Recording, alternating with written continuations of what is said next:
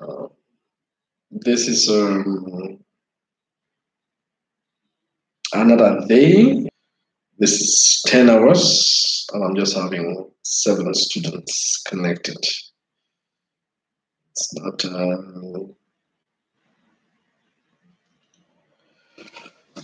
so we make sure others join before we get the lectures, please. Okay. So far so good. Um, we're having people join, yeah.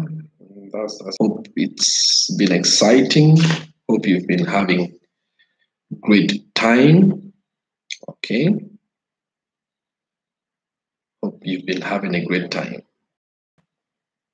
And, uh, while we uh, waiting on others to join, uh, so what are the experiences we've had during this COVID-19 lockdown? Please, uh, what any what kind of experience with 19 lockdown? What have you learned? What has been your your your most exciting moments and uh, your your experiences? Okay, so that is how one of today's class. What has been your experiences during the lockdown? So you can you can just type them on the comment section. So we, we start by sharing experiences during this lockdown. Okay. This scenario situation comes with something for us to learn. Okay. Uh, Chipego. So what has been your experience? I can see you there. So what has been your experience during this lockdown? I would like to hear from, from you. Um, other students, just you can type in your experiences during this COVID-19 lockdown we get to see that life is bigger than what we want to what we study at times, right? Life is quite quite bigger than that.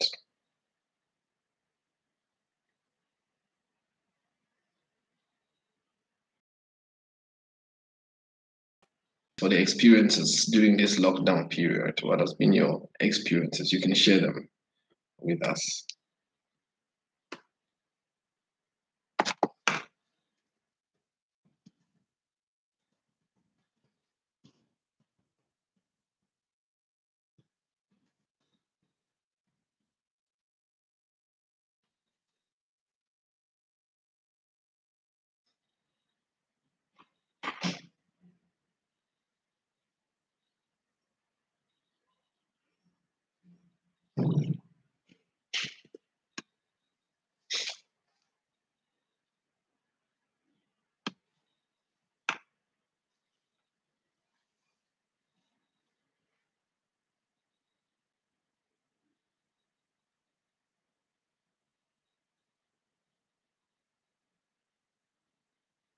So I'm waiting for the experiences before we continue. So our class will advance on the basis of that. Okay.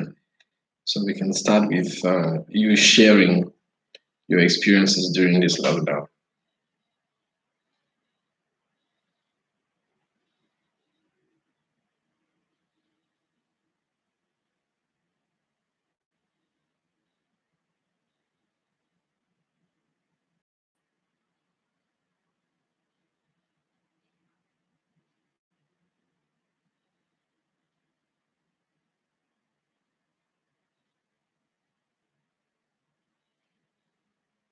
If there are no experts, okay.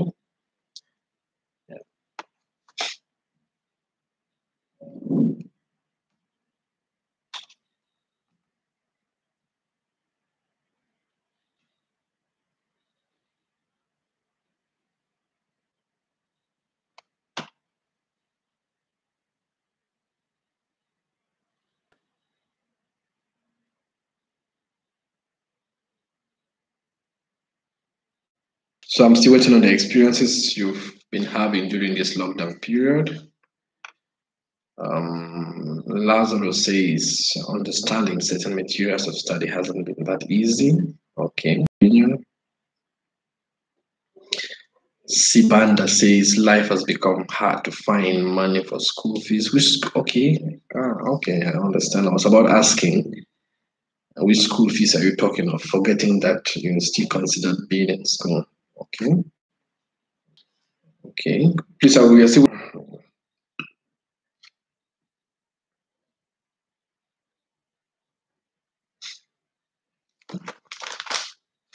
Okay, so what has been the experiences? Uh, share your experiences that we've had. I can see Rafi. Good morning. So the experience is the load shedding in some areas. Studying has been a challenge. Okay. Ruben says uh, it's been quite a challenge studying.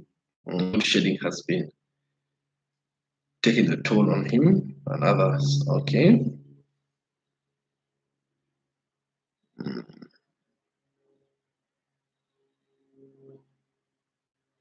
So we are still listening. We are still waiting on experiences during this comes with a baggage of information. Walia says, well, it's been quite an experience. Staying indoors almost every day, it's and it's new and kind of hard to adjust to. Okay, the studying from home is challenging. Okay. Life is a teacher, but then not the best teacher anyway. Life is a teacher and not the best teacher. But in every situation, one of the things I've come to learn is that there's always something to learn from it. It says, yes, studying has been challenging. So please, if you say a word or two on how to seriously study at home, okay? Joseph says something like that. And then Sibanda says, studying and working is a big challenge than home duties, okay? Okay. Yesterday, now was it yesterday or some days back to a student actually? And I, I, was saying that I was talking to a student days back, and I was saying that um, what is your motivation to study? A Frenchman says, What is your raison d'etre? What is the reason behind your study? If you, there is a passion that that fuels your study. There's a passion that fuels your study. So, first of all, at the bottom, at the backdrop of study is a passion. Okay? There's a passion. If you are caught up just with a title that I'll end up being a doctor or whatever, and you're not passionate about the information or the knowledge you you need to qualify for that uh, title, studying will become difficult. Okay, will become quite difficult, and so um, first desire to know. The desire to be to be knowledgeable is one of the things that pulls you to study. Now a student met me the other day. Of course he's been coming to the office now and then and he said Sir, where do you get this zeal this zeal to keep to keep being busy. I said, I'm just knowing and influencing people. That's my passion, knowing and influencing. And for you to influence people, you must have the wherewithal. You must have the the savoir-faire. Uh, the Frenchman says this.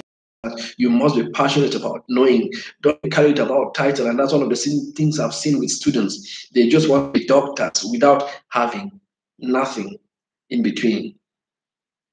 Okay? Knowledge is important. Don't be a don't think that you will learn when you go to the clinic on, on, on pro, procedures and protocols handed down to you. Okay, so Joseph build a passion.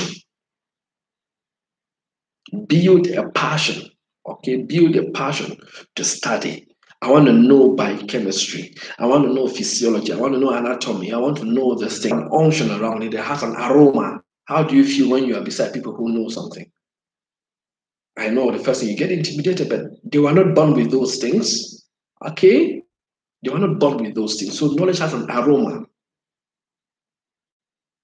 Okay, so Situale says it has been not it has not been easy. We are also finding time to do school. Time is limited. That's that's that's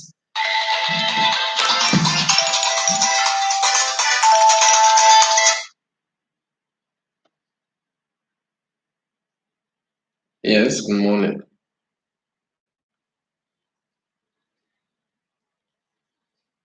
Okay. hmm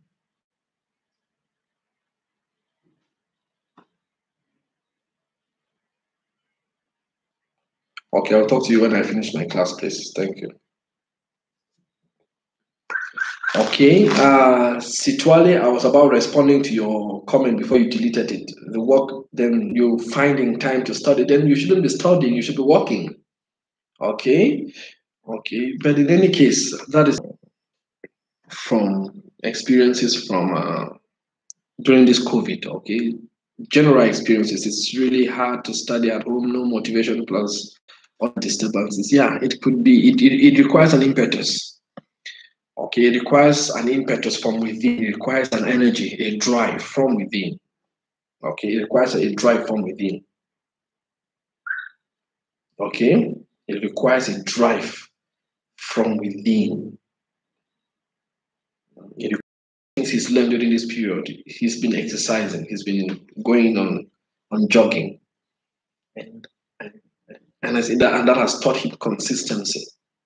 And one of the things I learned about athletes is that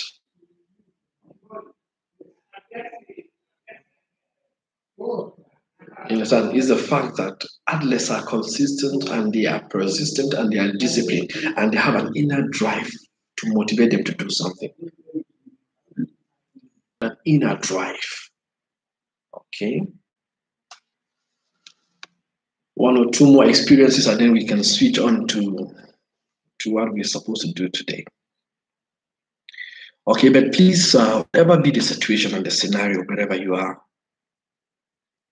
don't give up. That's what you remember. Oh, it's difficult for me to study at home. This challenge or this challenge, yeah, difficulties abound. But please, because one of the things when the exams will come, I'm not sure one of the questions will not be what were your challenges during this period, and you won't you won't have a place to write to explain that you didn't have power or you are working or you had house chores. I'm not sure there will be such an opportunity. So please okay life doesn't give us the opportunity to explain difficulties. You understand? Excuse please. It doesn't give us that opportunity. So as much as you can giving your best okay giving your best. And um, I feel so strongly that if you got up this morning, or probably maybe if this lockdown has to go for quite an untold distance of time, and uh, things turn out sour, what do you think your life would be without you completing medical school?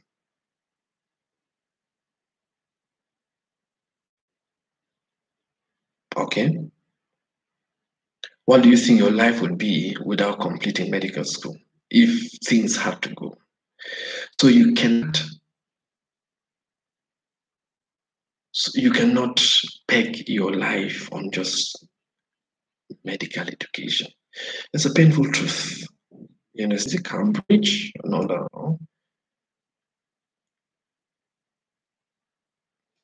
or one of the universities they said they will um, they would switch online for the next academic year 2021 2020 2021 that means everything will be online okay? So please as much as you can brace yourself for the worst and brace yourself for the best okay? Devise tact train yourself on an institution, neither will you blame it on a nation. Okay? You can afford to, to do that. Okay. Um, so far, so good. I don't think uh, there, there are no signs. Whatever be the opening of schools, rests not on the university, it rests on the government. Okay. So today we'll be talking about the stomach. Don't give up. Okay, I don't know. I keep coming back to this thing. Don't give up. Yes, and don't give up. There is light at the end of the tunnel. Don't give up, please. Say, behold, one manner of love the Father has given unto us, that we should be called the sons of God. Behold, one manner of love the Father has given unto us. This during this period that you appreciate social connections. Okay, and if you can appreciate social connections within this period, what, what much more how much more will you appreciate spiritual connections? Okay, if you can appreciate social connections during this period. So please, there are many people going through terrible things right now. I hear a lot of them, and some students call me to inform me, but I can tell you don't give up, please. Don't. Don't give up. And then don't become a beast. Don't because any kind of person. Please. Okay? Be reassured of God's love. Say, Behold, what manner of love the Father has given unto us, that we should be called the sons of God.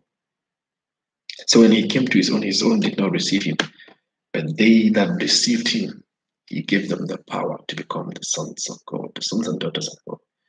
That's it. We may be going, you may be going through something very challenging, but please, that's why he says, cast your cares on me for you. I care for you. God cares about you. He cares about you more than you care about yourself. He cares about your academics more than you care about. He cares about your future. He said, Before I formed you in your mother's womb, I knew you. I knew you. I knew you. I knew you. He knew you before he formed you. So please, don't become any kind of person during this period. Don't kind of person during this. Perfect yourself. Just become better. Okay? During this period, again, you can find time. Since you're home, you can learn some things online. Do some business, investments. Life, don't take your life on medical education alone. I can tell you that. Don't. Life is living. There is no other time you will live. February has passed, March has passed, April, May is passing. You will never have these times again. And so even when things turn to normal, when things turn to normal, you will never, you will not rewind the job. If something happens and and the Lord takes you and you die today, or there is appointed to man to die, and after that comes judgment. If you die today, will you stand before the Maker confidently? And that question is: Is your name in the Lamb's Book of Life? If is your name, people are dying of COVID. It's it's it's it's it's, it's God's grace that we have been preserved and exempted. But if you go today, is your name written in the Lamb's Book of Life? Is your name written? I'm not saying if you attend a church or you go to a synagogue or I don't, I don't, I'm not talking if you have a Christian name or not, but is your name in the Lamb's Book of Life?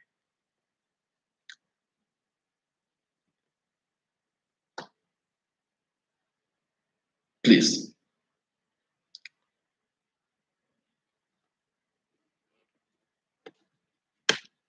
This may not be for everybody listening to me, but that's just one, two, or three persons whose beginning is from what I've just said. This should be the time to have an introspection about your life. Why am I, what am I living for? Am I accountable to a superior being? Am I accountable to, to God? What am I living for? Okay, what am I living for? Where will this attitude lead me to? Excuse please. Where will this lifestyle lead me to? What are the fruits? What are the benefits of it? Momentary sensuality. Say to be carnally minded is death, is to be separated from God, but to be spiritually minded is life. You can't afford to be anyhow. You can't afford to live your life anyhow. Please. You are counting pranks with it. Don't play games with your life. You may not have a second chance. And the, the, the one time mistake you may make can be so invest time with, with God. Perfect your relationship with Him. He's been calling you all this while. Just like the prodigal son or the prodigal daughter, you left, you went and squandered your life, you righteous living, and and please don't stay there. He's calling for you. He's calling for you. Come back. Come back home. Come back to the Father's love. Come back to the Father's love. Come back to the Father's love. Don't rationalize sin. Don't rationalize it. You are created in holiness. You are created in righteousness and true holiness. Okay. Thank you once again for your time. I'm grateful for giving me this time to be able to motivate you. And please, uh, uh, Clyde, you don't have to struggle with anxiety one day at a time. Okay, one day at a fellowshipping with people and fellowshipping with God. I'm doing this. I'm doing that. Don't take your life in one in one place. Because if, if you die today and go to heaven, one of your sins will not be that you didn't you didn't complete medical school. you understand? One of your sins will not be that you, com- you you didn't complete medical school, but will be will, did you do what I asked you to do while you were on earth? That's very fundamental. So don't peg your life in one position. Live life to fullest according to God's standard. Mm, so we look at this. We look at gastric secretion today. Okay, but before we look at gastric secretion, we're looking at the stomach. So we look at the physiologic anatomy, the functional anatomy of the stomach. Okay, and so please make sure you have your pens and papers and you're jotting down things. Don't yeah. And somebody, some people ask me, will I give notes afterward? So after taking time to teach you this, you expect notes again? Amen and brethren. Hmm? Okay, so this is what we so abdomen in anatomy. I doubt, I doubt very much. But then, if, if you have done the abdomen, of course, the stomach is, uh, is an abdominal organ, and then um, it has three main parts. Okay, it's unfortunate that I don't have a board. Okay, so we it has three main parts. It has a fundus, just as from the ends of the esophagus, we have the fundus, we have the body, and then we we have the antrum. Okay, so we have the fundus, the body, and the antrum we have the fundus, we have the body, we have the antrum, which continues as what the uh, the pylorus, okay, via the pyloric canal, okay, and this pylorus is surrounded by this pyloric sphincter. Okay, we talked about sphincters that uh, regulate the opening and closure of apertures for food to leave one uh, one cavity to the other or one segment of the if you look at the the stomach, the stomach has a lesser curvature and a greater curvature. Okay, so you look at your stomach this way, it has a lesser curvature and a greater curvature. So on the lesser curvature, which is um, which is related towards the liver, so we have a lesser curvature. So we have a, a constriction between the body and the antrum. Okay, at this lesser curvature, we call it the uh, the incisura angularis. Okay, the incisura angularis. Mm call the word incisura. Incisura.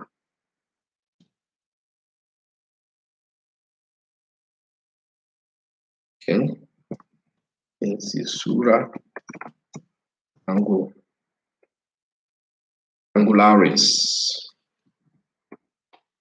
Okay, so that is it's um it's a it's, it's a constrictor, okay, in the, in the lesser curvature between where you have the antrum between the antrum and what and the pylorus, okay. So we have what we have um, we have the um, incisura angularis, okay, and we had mentioned earlier on that the opening of the esophagus into the stomach is called the cardia, okay. The op opening of the uh, uh, esophagus into the stomach is called the cardia controlled by the lower esophageal sphincter. Okay. Okay. So I gave an assignment the other day, and I've had people re requesting for me what what did I mean. I I, I did I I made a mistake, but I thought I was quite pretty clear that you should write on the pathophysiology of the gastroesophageal reflux disease. Okay. To write the pathophysiology of the gastroesophageal reflux disease and I said, well, when is the, the, the, deadline, please? Anything that is that enters after the deadline is minus three marks, okay? In the minimum. Uh, okay, that was just, okay, that was a five mark question, I think, but then I'll be able to at least minus one or two marks, okay? So we've looked at the functional anatomy of the stomach, the of the, the, the fundus, the, the body, and the antrum, which continues as what? As the pyloric canal into the what into the pylorus, okay? And um, we've talked about the pyloric sphincter that guards the pylorus, and we've also mentioned about the uh, the incisura angularis, where it's a, a constriction uh, in at the lesser curvature, okay, between the antrum and the pylorus, okay. And then we've talked about the opening of the esophagus into the stomach. That area is called the cardia, and this is controlled by what? The cardiac sphincter or the lower esophageal sphincter. So let's look at the gastric mucosa. Okay, remember, can you see also the mucosa? You have the four layers: the submucosa, the muscularis mucosa, the sorry, the mucosa, the submucosa, the muscularis uh, uh, mucosa, and then we have the serosa. Okay. So we had four layers. Can we remember? The, the mucosa, the submucosa, the, musc the, the, the muscular coat or the muscularis propria, the proper, okay, and then what the serosa, okay. So, so we want to look at the gastric mucosa, okay. We want to talk about the gastric mucosa, okay. And we mentioned this gastric mucosa contains what simple tubular glands, okay. These are simple tubular glands which um, open at the uh, mucosal surface, okay, at the gastric pits, okay.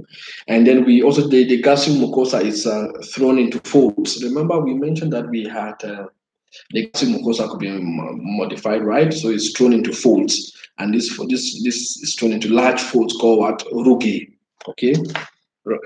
Large fold called what? Rugae. Okay rugae. So the mucosa is thrown into large folds called what? Rugae. And this this folds is by the contracting the the, the, the actions of, of what of, of what uh, of the, of the mucosa. Okay. Of the mucosa. So we also mentioned that um, the, the glands in the cardiac region and the pyloric canal. Remember the cardiac where the esophagus is opening and the pyloric canal on this side. The glands there contain mainly the mucous cells, okay, and which produce what uh, mucus. While those of the um, fundus and the body contains different other kinds of cells. The first type of cells present there is called, called the oxyntic cells. The oxyntic cells. The oxyntic cells, they secrete hydrochloric acid and uh, intrinsic factor. Okay, so it is either the oxyntic cells or what the parietal cells. It's either called the oxyntic cells or the parietal cells. Okay, they secrete what hydrochloric acid and uh, and um, intrinsic factor. Then the next type of cells will have the chief cells. Chief cells or the peptic cells or also call them some books call them zymogen cells. Okay. We have the chief cells, the peptic cells or the zymogen cells, they secrete proteolytic enzymes, pepsinogens okay, and other enzymes, okay. Then we also have the mucous cells which secrete what? Mucus. Okay. Now, at the antral region, they will have the antral glands, okay, in the pyloric antrum, they have some cells called the G cells. Okay, the G cells. These G cells secrete what? Gastrin hormone. Okay, the G cells secrete what? Gastrin hormone. Okay, so we're talking about the cells of, we're talking about the gastric mucosa. Mm-hmm. Talking about the gastric mucosa. I would say they contain what simple tubular glands, in which the, the mucosa is thrown into folds called rugae by the effect of the, the, the contraction of the muscularis mucosae. And then we said the glands in the cardia and the pyloric, the cardiac region and the pyloric canal, uh, are mostly made of mucous cells which produce mucus. Okay, why the body and the the fundus and the body is made up of other cells. Okay, together with the mucous cells, made of the parietal cells or the oxyntic cells, which secrete what hydrochloric acid. Okay, and an intrinsic factor. Then we also have the peptic cells, the chief cells of the uh, zymogen cells, which secrete what uh, proteases, okay? pepsinogens, another enzyme. Then we also have the G cells in the pyloric antrum, which secrete what the, the gastrin hormone. Okay, the gastrin hormone. Now we have, um, having said that, let's we've looked at the functional anatomy of the, the stomach, we've looked at the mucosa. Let's look at the innervation, the nerve supply of the stomach. In our first class and discussion, we talked about uh, and I discussed in detail about autonomic uh, supply to the gastrointestinal gland. Uh, sympathetic stimulation leads to relaxation of the stomach wall, especially the proximal part, and contraction of the pyloric sphincter. Okay, so we have relaxation and then contraction of the pyloric sphincter. That means food cannot leave the stomach to the duodenum, isn't it? So what does it what, what does it mean? It, sympathetic stimulation delays gastric emptying okay, the, the, the rate of movement of food from one compartment to the other, from one section of the GIT to the other. So sympathetic stimulation will reduce, will delay gastric emptying. That's the emptying of the stomach into the small intestine. Why? Because it what it leads to relaxation of the stomach, especially the proximal part, and then contraction of what of the sphincter. Okay, so it also stimulates leads to stimulation of mucus secretion from the pyloric mucosa. And then sympathetic stimulation also leads to what? Um, vasoconstriction of gastric blood vessels. Okay, you begin to imagine. So when somebody is nervous for quite a long time, is under stress, the sympathetic nervous system is pro is stimulated. You begin to imagine there's vasoconstriction of the gas of the blood vessels. Okay, of the gastric blood vessels. What happen? We may have issues of necrosis or ischemia, necrosis, and punctates of what of lesions that could lead to what ulceration, isn't it? Ulceration. Look at parasympathetic supply. Parasympathetic supply. Okay. Okay, this is derived from the from the vagal nerves. Okay, and stimulation will lead to contraction of the stomach wall, especially the distal part. Take note. Stimulation leads to contraction of the stomach wall, especially what the distal part, and also relaxation of what of the uh, of the pyloric sphincter okay, and also relaxation of what? Of the pyloric sphincter, okay? The of the pyloric. Then secondly, also leads to a secretion of rich hydrochloric acid and pepsinogens. Okay, we'll come to that. And then leads to vasodilation of what? Of the gastric blood vessels, okay? It leads to vasodilation of the gastric blood vessels, okay? So uh, we look at uh, mechanism of gastric secretion. Okay, mechanism of gastric secretion. We look at mechanism of gastric secretion. Okay, the the secretion of gastric juice passes in three phases. Okay, the secretion of gastric juice passes in three phases. Remember when we were talking about uh, salivary secretion? We said salivary secretion passes in three phases, right? The cephalic phase, which has to do, we call it the psychic phase, okay, or the nervous phase. And then we have the, we talked about the buccal phase and we talked about what the gastric phase, right? Those are the three phases for salivary secretion. So we have three phases for gastric acid secretion. We have the cephalic phase, we have the gastric phase, and the intestinal phase. Okay, so please, so we have three phases of gastric acid secretion or the gastric secretion. So we have the cephalic phase, which is nervous, which is psychic, which is up here. Then we have the gastric phase, okay? And then we have the we have the the intestinal phase, okay? So the cephalic phase, this is the phase that occurs before food reaches the stomach. Okay, so it aims at preparing to preparing the stomach to deal with food before it comes. Okay, sorry, please. So uh, this phase occurs before food and reaches the stomach. The cephalic phase occurs before what? Before food reaches the stomach. Okay, so what is it? What is the essence of this cephalic phase? That means before food even reaches your stomach, gastric secretion is already occurring. Okay, you can even bear witness on that. Okay. So but then it so it's occurring preparing to receive this this meal. Okay, and it occurs through both conditioned and unconditioned reflexes. Okay, so the cephalic phase is under the control of both conditioned and unconditioned reflexes. When we were talking about salivary secretion, we said the conditioned reflexes are acquired. They are not inborn. They are not inherent. Okay, they are not inborn. Okay, they are acquired. So they require training. They require learning. Okay, they require training, and they require what learning. Okay, and of course that would require that what they they, they need an intact cerebral cortex. Okay, so during the conditioned reflexes, so which kind of so seeing food, smelling is similar to that of what the, the mechanism the mechanism is similar to that of uh, the salivary secretion okay? Okay then we have the unconditioned reflex okay? This is inherent this is inborn okay? You don't need to train you don't need to learn. That means putting food in your mouth just introducing food in your buccal cavity leads to gastric uh, acid secretion.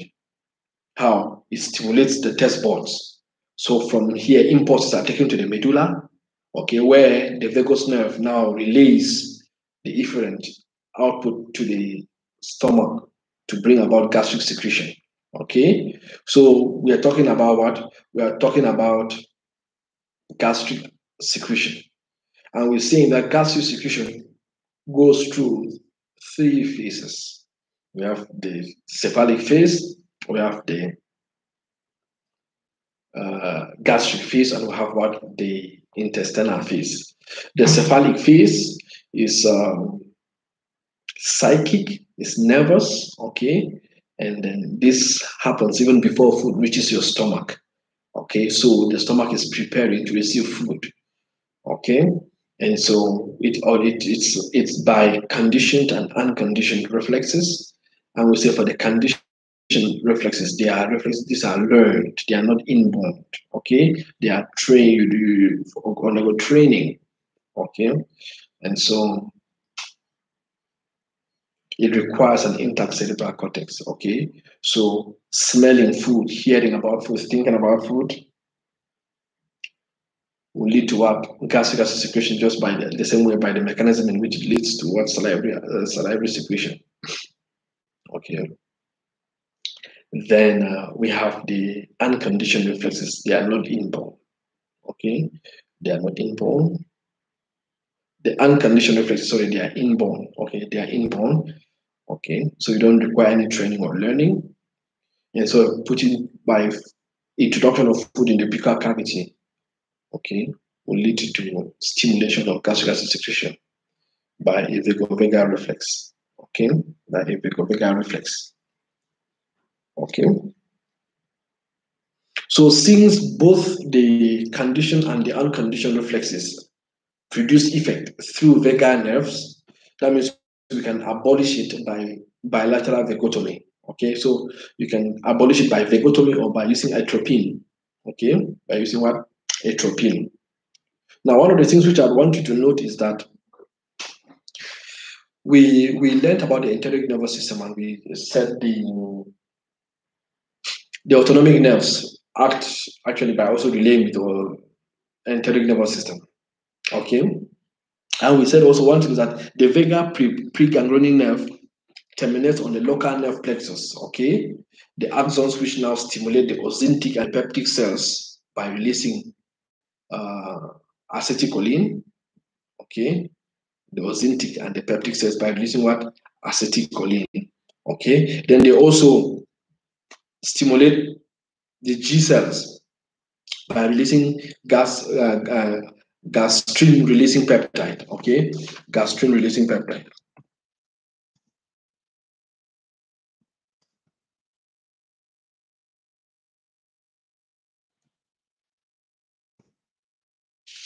Gastrin releasing peptide, okay? And then this gastrin releasing peptide helps the G cells to produce what? Gastrin, which goes into the blood and then comes back and stimulate the oxyntic and the peptic cells to produce both hydrochloric acid and what? And pepsinogens. Okay? The, the volume of um, of juice secreted in the cephalic phase is little, just about 20%. So the cephalic phase contributes just about 20% of the gastric uh, secretion. Okay? So, and it's basically determined by the state of the appetite. So when when you have more appetite, okay, then you can be able to secrete this quantity so much. But if you lack appetite, there's also a tendency that what it will not contribute so much in the quantity of gastric secretion. Okay, yeah. Then the next phase is the gastric phase. Okay, the next phase is what the gastric phase. It's the gastric phase, and this phase occurs when food enters the stomach, okay? And this is the main, this is the main mechanism of gastric secretion. The gastric phase is the main mechanism of what? Gastric secretion, okay? Because it continues for about three hours and accounts for 70% of the gastric secretion, okay? It accounts for 70% of the gastric secretion. And so it, it, it occurs, this gastric phase occurs by two mechanisms, the nervous mechanism and what? The endocrine, okay? The nervous mechanism and the endocrine or the hormonal mechanism, okay? The nervous mechanism and the hormonal or the endocrine mechanism. So the nervous mechanism involves first a local enteric reflex, okay? What involves a local enteric reflex. A local enteric reflex. Okay? A local enteric reflex. Now, can we still remember what we talked about local enteric reflex, in which these are short reflexes, axonal reflexes, in which the the afferent, the integrating center, and the efferent are all located within, within what? Within the GIT wall, right? So we expect that when there is a, when food enters the stomach, there will be a distension of the stomach wall, a mechanical distension of the stomach wall, especially the fundus, okay, and the body. So this will stretch and initiate what local reflexes, okay, local reflexes involving more, mainly what the submucosal nerve plexus, okay. Remember we're talking about secretion. If we if it was about motility, we'll be talking about what the myenteric plexus, okay. So we're talking about what secretion. So this involves mainly what the submucosal plexus, that is in between the submucosa, the the submucosa and what the uh, inner uh, circular smooth muscle, okay? Inner circular smooth muscle, okay? So, so that's where it's located. So when there's a stretching of the GIT wall, okay, this will lead to what? Uh, initial activation of the the local reflexes. This will initiate local reflexes. Okay. Then we also have instances where chemical stimulation of the gastric mucosa, chemical stimulation of the gastric mucosa by the products of gastric digestion, particularly polypeptides. It will stimulate what? Um, it will stimulate gastric acid secretion by the same way. Excuse please. By the same local enteric reflex, okay, by the same local axonic reflex. It's very important please go back to what we discussed when we were talking about control of the gastrointestinal functions and we talked about the, the reflexes okay? And then go again We look at when we talked about the the layers of the GIT wall okay? That is fundamental. I remember remember I told you that those first lectures were crucial. Okay so we talked about the nervous reflexes. We said the first thing was what? The first thing was um, the local enteric reflex. Then the second one is the vagovagal reflex, okay? And where mechanical distension and chemical stimulation of the gastric mucosa initiate impulses that are transported in the vagal nerve and to the to the vagal nucleus in the medulla oblongata, and then the efferent are sent back via the vagal nerve to the GIT, to the stomach. Okay, that's why we call them the vagovagal nerve, where the afferent and the efferent are within what the vagal nerve. Okay. And so this this impulse are discharged via the vagal nerve fibers to the stomach, leading to what gastric secretion. Okay, leading to what gastric secretion. Okay, And this gastric secretion then can be stimulated directly also by certain chemicals and substances. For example, caffeine and ethanol. Okay, caffeine and ethanol will directly stimulate gastric acid secretion. Okay, and uh, you begin to imagine now when you for those for those who drink take alcohol and when you see sometimes you get uh, a little bit hungry uh, quicker. Okay. Then the we said the gastric phase is by two mechanisms: the nervous and what? The nervous and um, the nervous and uh, the the hormonal. Okay, by the hormonal, the hormonal mechanism is the main mechanism of gastric secretion. The hormonal mechanism is the main mechanism for gastric secretion, and uh, we will have mechanical distension of the pyloric antrum. Okay, remember, remember the pyloric antrum when there's a mechanical distension of the pyloric antrum as well as uh, chemical stimulation of, of its own of the mucosa of the pyloric antrum hormone release okay from the G cells okay it results of what gastrin hormone release from the G cells okay? So the release of this gastrin hormone remember we mentioned that what these nerves here can release gastrin releasing uh, peptides okay that acts on the G cells to produce what? To produce uh, gastrin so gastrin, since the hormone enters into blood, and when it enters into the blood, it, the blood brings it to, into the peptic cells to it stimulates the uh, the peptic cells as well as the uh, parietal cells to produce hydrochloric acid. Okay, so the third uh, phase is the intestinal phase. Okay, the third phase is the phase. Okay, this phase occurs uh, when uh, when chyme. Okay, chyme is a product of gastric digestion. It's a product of uh, digestion in the mouth. What is the product? What's the name of the product of digestion in the mouth? Okay, that one in the in the in the in the, in the stomach in the gas in the stomach is called chyme. Okay, so let me get the answer from the class. So the, this phase chyme enters the duodenum. Okay, when chyme and enters the duodenum. Okay, now when chyme enters the duodenum, it stimulates secretion of additional gastrate. That's beautiful. Uh, Kennedy says bolus champion nearly okay it's a, a bolus okay so the the intestinal phase oh, that's beautiful means we are following okay the the phase occur we say the intestinal phase occurs with chyme which is the um, product of gastric digestion enters the duodenum, okay?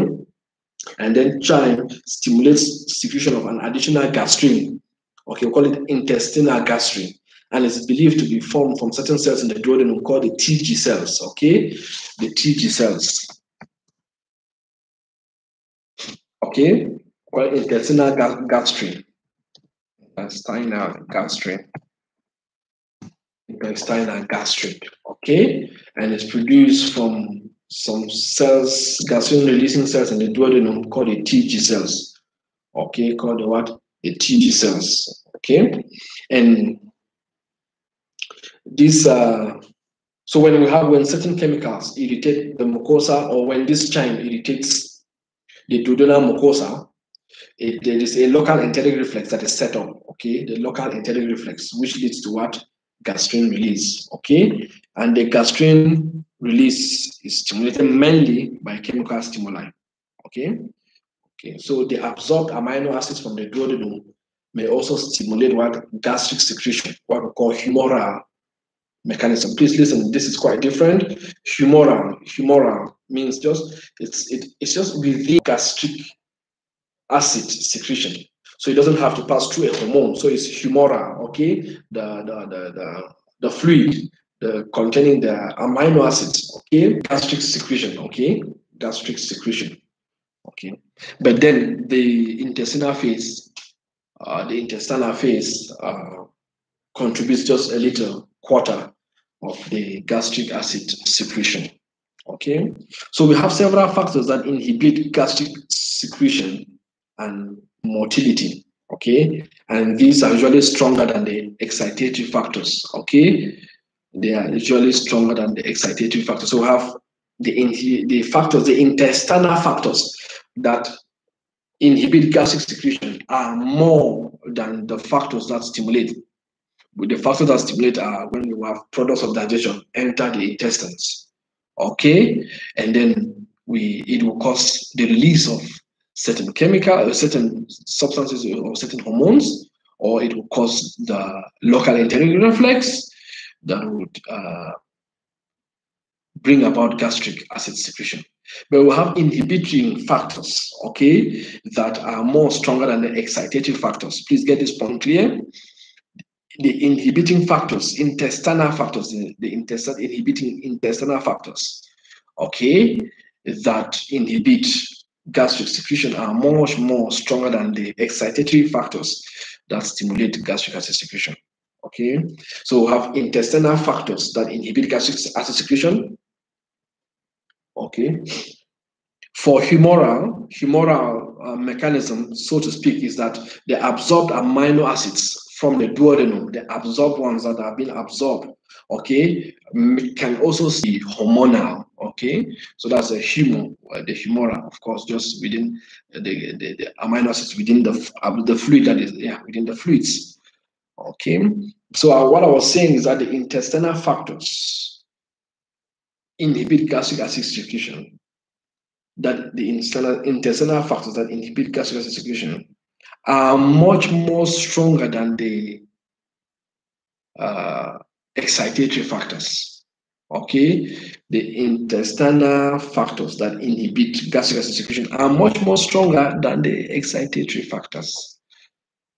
Okay, they are much more stronger than the excitatory factors. Okay, and so what are those factors that inhibit gastric? What are those intestinal factors that inhibit gastric acid secretion? That means when food leaves the when food leaves the stomach into the duodenum, what are the factors that within the duodenum that call that inhibits gastric acid that inhibits gastric secretion or that stimulate gastric secretion. But now we're looking at the factors that within the intestines that inhibit gastric secretion. We don't we don't expect gastric secretion to go unchecked. Okay, to go unchecked. That means when food leaves the stomach to the intestine, there are some things within the intestine, the activity of the food within the intestine provokes the, the stomach to stop producing gastric secretions. Okay, one of the first, one of the intestinal factors that inhibit gastric secretion is duode, distension of the duodenum.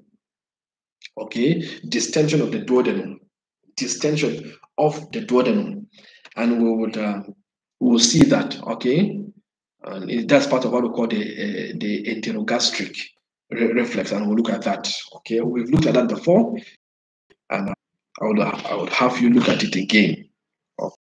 If you look at it again, and it's quite important. It's quite important. Try to look when I wrote, I wrote it as an assignment for you somewhere. Okay. Okay. We'll get that as an assignment. So we have the distension of the duodenum. Okay. And we'll look at it briefly. Then we have excess acid and fat. Okay. Excess acid and in, in, in the in the in the duodenum would inhibit gastric secretion. Vincent, look at when you are joining the class one hour later. Okay.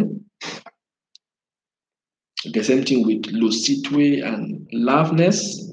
You are joining the class one hour later. Okay. So we have distension of the duodenum. Okay. So distension of the duodenum would inhibit gastric acid secretion, and we'll look at it shortly. They also have excess acid and, and, and fat. Okay, we also have irritant substances and hypertonic fluids. Okay, within the duodenum. Can stop that? Okay. And these, these factors we have mentioned, they operate by two major mechanisms.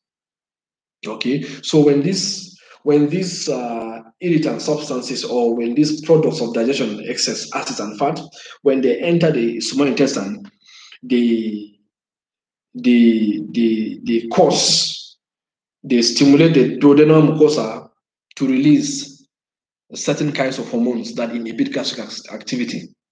So the entry of um, products of digestion into the duodenum will stimulate the duodenal mucosa to produce certain kinds of hormones. One of them is cholecystokinin. Cholecystokinin. And the other one is secretin. And the other one is uh, VIP. We looked at VIP before. And then you have what GIP, which is what gastric inhibitory peptide or polypeptide.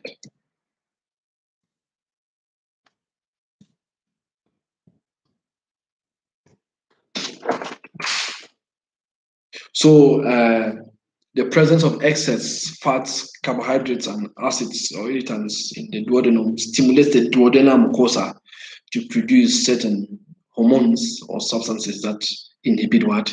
That inhibit uh,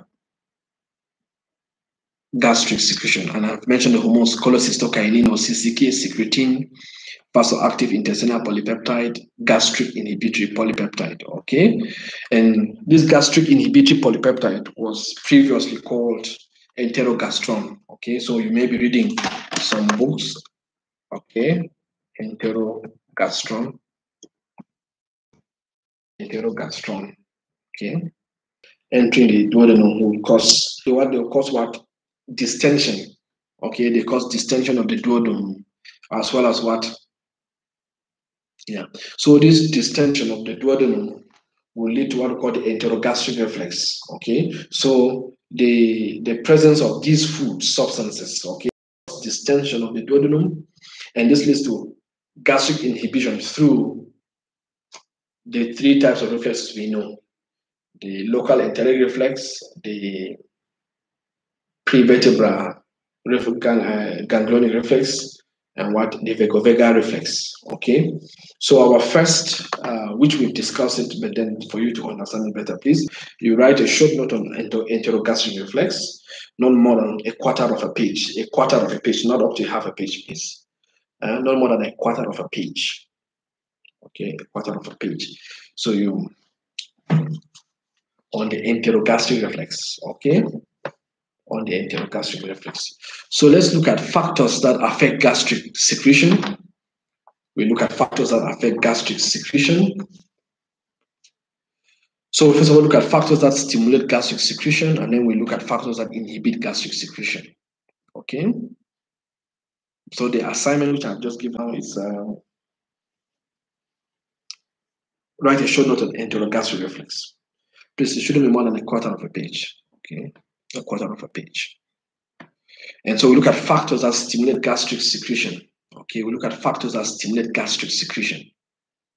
Okay, so the first is food ingestion, especially if associated with increased appetite, right? Okay, and so how will this stimulate gastric secretion? Through conditioned and unconditioned reflexes. Okay, we've looked at it. Now, we'll talk about food entry in the stomach okay, food entry in the stomach, okay, and this is through what liberation of uh, gastrin hormone, okay, and we, we, mentioned earlier that taking alcohol and caffeine can also um, uh, stimulate gastric secretion, of course, and this might uh, account for reasons why people eat with alcoholic wine but then that's, that's not the only thing that would stimulate the acid secretion though. So we also have certain emotions, okay, sometimes anger, anxiety, okay, and these impulses will be discharged from the hypothalamus to stimulate the vagal nucleus in the in the medulla, okay. So you have anger and anxiety. Then hypoglycemia, okay. For example, now I'm, I'm, I'm almost getting hypoglycemic so this will stimulate the what? The feeding center in the hypothalamus, which in turn stimulates the vegan the vagus nucleus in the in the medulla oblongata. Okay. And then also if you if you uh, IV injection of certain amino acids, that means if you inject um, certain amino acids like arginine, oh sorry, uh, alanine, alanine and glycine. Remember the humoral mechanism where the absorbed amino acids can directly stimulate the gastric secretion. Okay, yeah. So those are some of the factors that can stimulate gastric secretion. Okay. Yeah, that was that's a beautiful question. I've been expecting that question. Okay, Ruben, so, so do the phases of gastric secretion occur concurrently or simultaneously to one another? Now, uh, okay, uh, but remember that the first, the gastric phase, the, the cephalic phase only occurs before food reaches the stomach, right? That means when you are thinking of food, okay, or when food enters your mouth, that's for unconditioned reflex, you already have in gastric acid secretion, okay? So, and the food enters the stomach. When the food enters the stomach, then you have the that means you have now the gastric phase. Okay, but then it doesn't mean that the cephalic phase would have ended. You understand? It could still be occurring while food is still in the stomach. While, while, while food has entered the stomach, isn't it? So the gastric phase, but then the gastric phase will only occur when food enters it could be occurring concurrently with the cephalic phase because it's not as if food enters the stomach once, isn't it? And then so you stop thinking about food or there's still no food in the buccal cavity. But then they contribute the gastric phase is when food enters the stomach.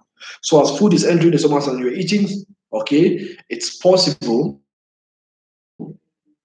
depending on the kind of food as well that it would have already been sent to the to the to the to the small intestines, okay, to the small intestines that intestinal phase occur.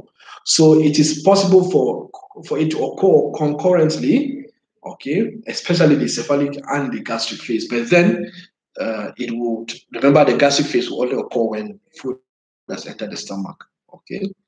I don't know if I was able to address your, your question. Okay.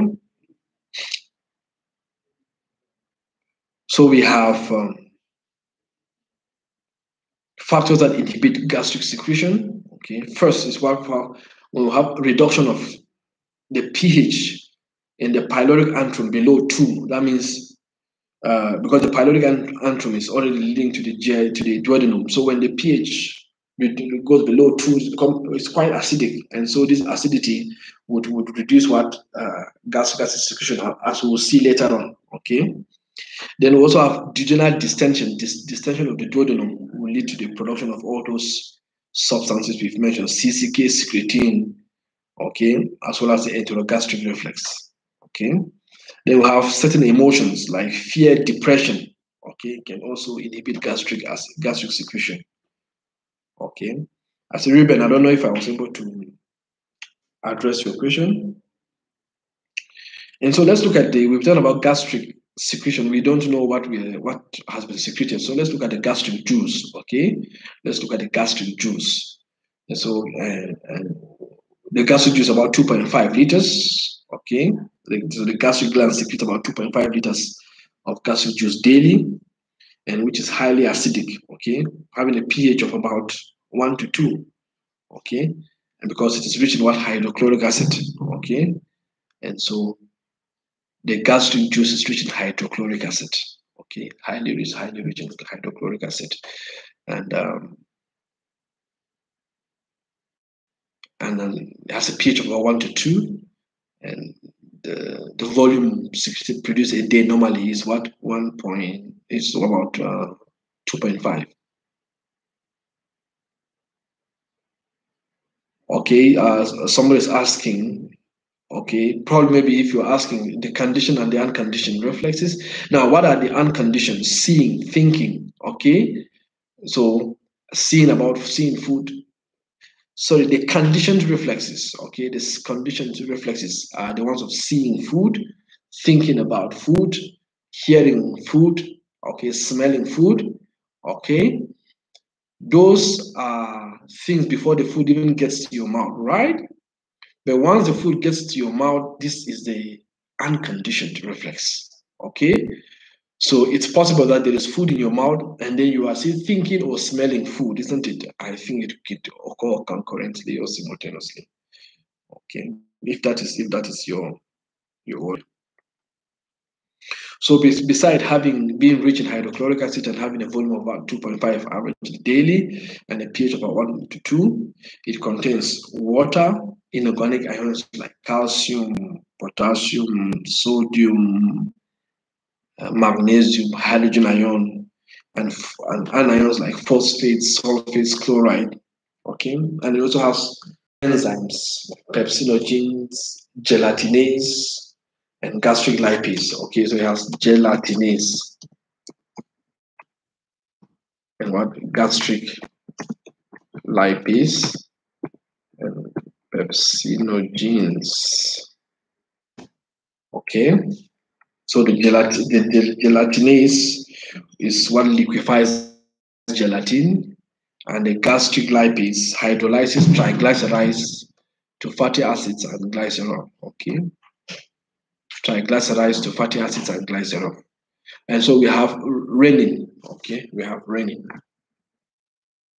okay? Okay, let's see. Let's make sure the spelling is important. Rennin or chymosin, okay? It's, it's a milk coagulating enzyme that is present in the stomach of young animals, okay? But uh, it, it seems it's absent in man, okay it seems it is absent in, man okay then the gastric juice also contains intrinsic factor okay which is formed by the by the parietal cells or the oxyntic cells and, and is essential for the absorption of vitamin B12 in the terminal ileum okay and then the gastric juice also contains mucus okay and we have two types of mucus. We have the soluble mucus and the insoluble mucus, okay? The soluble or the thin mucus and the insoluble or the thick mucus. Insoluble or what? Thick. And we have the soluble or thin mucus. The soluble or the thin mucus. Okay, so the soluble or the thin mucus, and then um, so we have these things. The first one I ask you to do is uh, on the enterogastric reflex. Please, it shouldn't be more than a quarter of a page, and differentiate between differentiate between the soluble and insoluble mucus produced in the in the stomach in the stomach. Okay, so you you make the difference. They they are quite clear. Okay. So you look at them from uh, the differences include where they are produced from, the kinds of glands that, that are produced from, and um, also their functions. Okay, and um, yeah, it's, it's okay. So you look at that. Okay, please you look at that. Okay. And so this is what I'm about talking now is something I, I always ask, mechanisms of protection of the gastric mucosa. Okay, how does the stomach protect itself from the harshness of the hydrochloric acid? Very important. Okay, very important. How does the stomach protect itself? How does the gastric mucosa protect itself? Okay, let me use the word from the harshness of the acidity of the stomach as well as from the pepsinogens, okay, or from there. Now remember that the the enzymes, the pepsin that is produced is produced in, in, in, in an inactive form, okay? And, and why is pepsin produced in inactive form? Okay, why is pepsin produced in inactive form? So let me get the answer as we continue. So the gastric mucosa is protected from damage by hydrochloric acid. Okay. So why is pepsin produced in an inactive form? Let me get the answer, then I continue talking.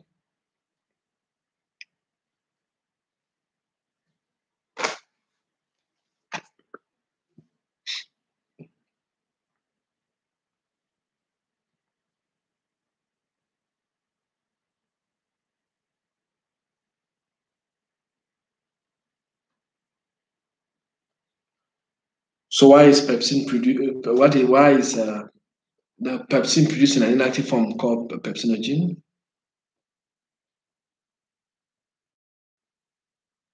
Okay, the Vincent, the first part is is great. Okay, and only needs to be active when food is present. So the question is, why does it only need to be active when food is present? Okay, it's highly proteolytic, yes. Yeah. So why does it need to be active when the food is present? Only when the food is present.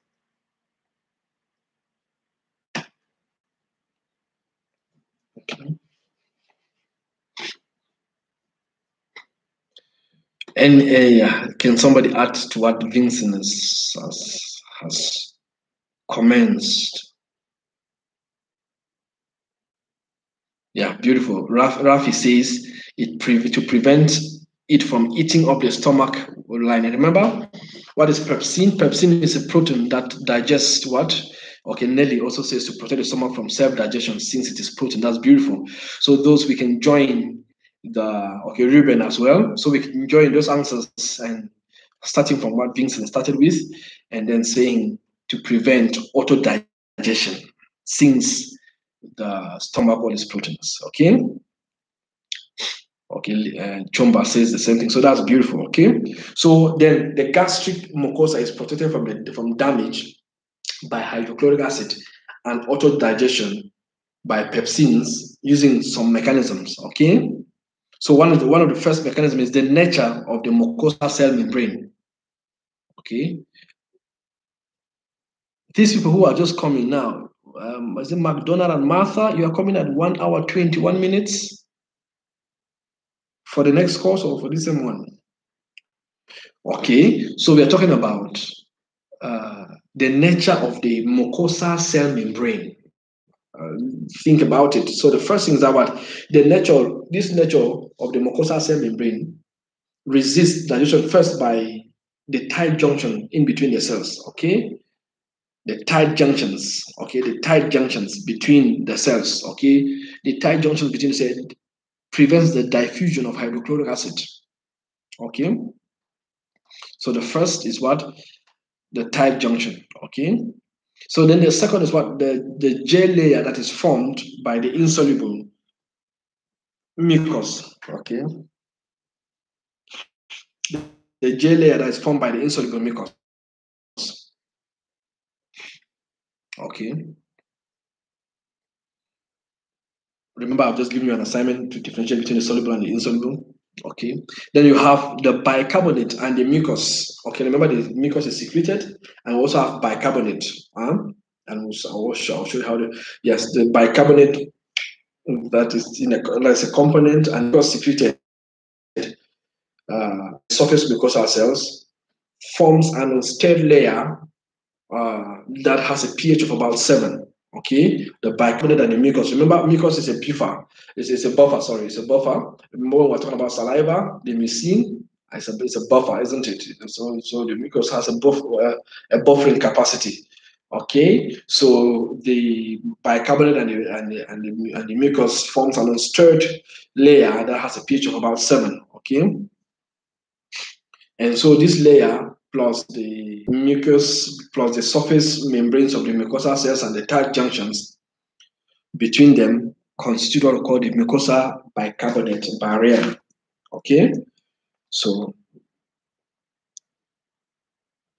mucosa bicarbonate barrier. So you the mucosa bicarbonate bar barrier. Okay. Then you, we've we've talked about what the nature of the mucosal cells, the gel layer. Then the third one is prostaglandins. Okay, prostaglandins, prostaglandins. Okay, when we last was it last year? Yes, when I was teaching you about uh, blood, I told you about the synthesis of prostaglandins. You need to understand that. So. Um, and we mentioned the prostaglandins are important in many things, okay? So the, one of the things is that the prostaglandins help in microcirculation of the gastric mucosa. It helps in microcirculation, okay? And so it also uh, stimulate mucus secretion and it inhibits acid secretion.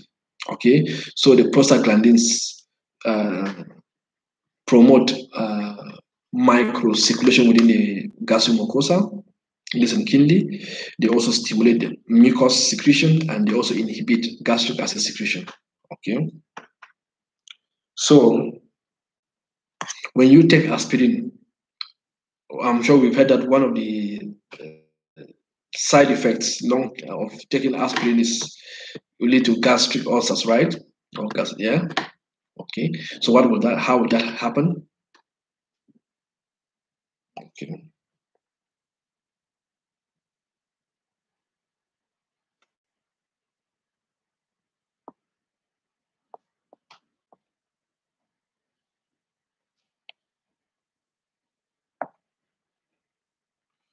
Okay. So how does aspirin cause gastric ulcers or predispose to gastric ulcers? Okay. Okay. So another thing again is that um, we have the continuous regeneration of the gastric mucosa because they are always they are sloughed off and they are continuously regenerated. So they also help in protecting. And um,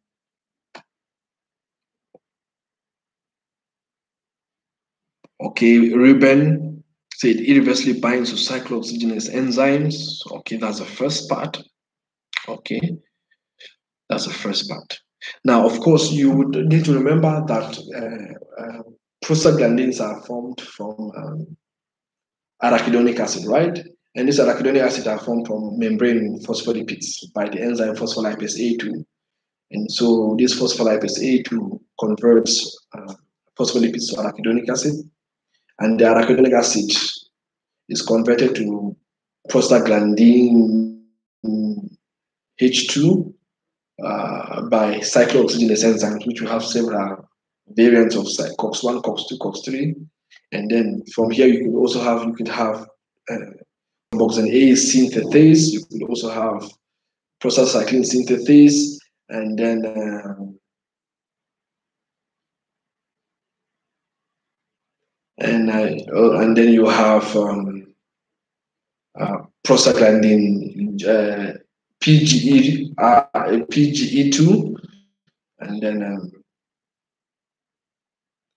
so so the first thing which you would first of all, as uh, Ruben says, is aspirin cyclooxygenase enzyme. This leads to decreased production of prostaglandins, especially PGE gastric acid secretion, they would also be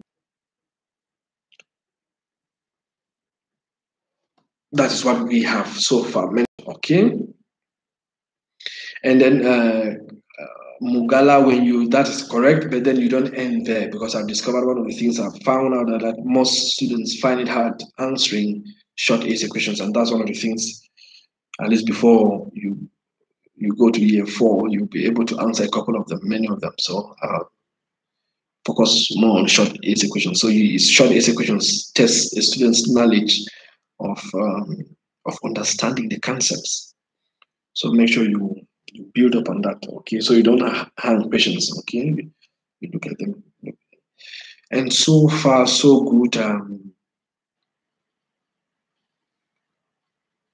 let's see how it goes okay let's see how it goes okay i was thinking we'll go a little bit far today so um, we want to, to, to enter on the mechanism of hydrochloric acid secretion so it will mean me showing so many diagrams and reactions so i'll look on how i'll see a, a way by which that can be done okay so the assignments for today, please, the assignments are not meant to break you. They are just things we didn't have discussed. Okay, there are things we have discussed. If you listen to me, you have found out that.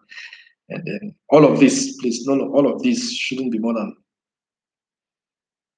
three quarters of a page. Okay, three quarters of a page. And don't copy and paste. I will subtract marks. I I will subtract marks. Okay, for the other class year two, people are just copying and pasting. They'll be shocked with the marks they are having.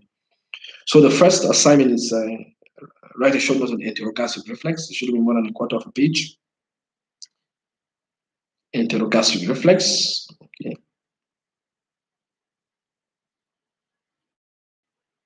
Okay.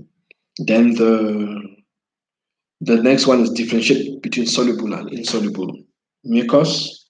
Okay.